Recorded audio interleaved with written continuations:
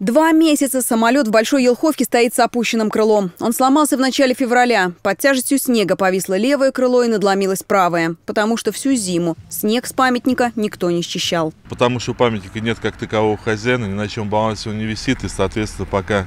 А у нас в России, как бывает, пока гром не грянет, мужик не перекрестится. И вот до последнего будем искать, кто теперь должен чистить снег с самолета.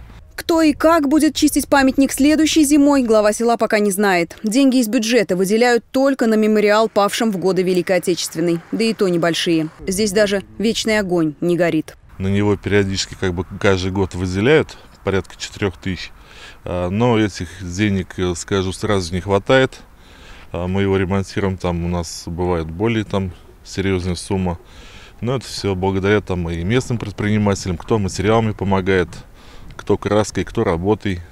Так вот, с миру по нитке так и работаем. Самолет МиГ-15 разработан Микояном и Гуревичем в конце 40-х. Советский истребитель был основным участником Корейской войны и многочисленных военных конфликтов по всему миру. Отслужив свой срок, в 1984 году он был установлен на территории Большеилховской школы и сразу стал одной из главных достопримечательностей села. На нем установили гранитную доску в память о летчике, погибшем в годы Великой Отечественной, Иване Малышеве, а рядом поставили памятник герою афганской войны Сергею Тростину. Меня это все разочаровывает.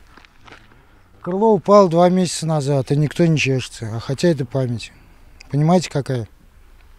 То есть патриотизм надо развивать. Все жители Большой Илховки уверены, нельзя дать самолету окончательно разрушиться. И ждут, когда восстановят их памятник. Там же памятник для этих воинов, которые пали в Чечне, в Афгане. Это же и ставят каждый 9 мая им эти венки и чествуют их, и памятник считается памятники надо восстанавливать, как должно быть. Глава села и сам этого хочет. Он помнит, как самолет впервые появился в их селе, и они мальчишками сразу облюбовали боевую машину. Восстановить памятник Юрий Зеленцов планирует силами местного бюджета. Чтобы самолет, который уже 35 лет является одним из символов Большой Елховки, простоял еще как минимум столько же. Было принято решение дождаться вот оттепели, так скажем, чтобы э, сделать подпорки под крылья, как это уже сделано в Чамзинке, в Качкурове.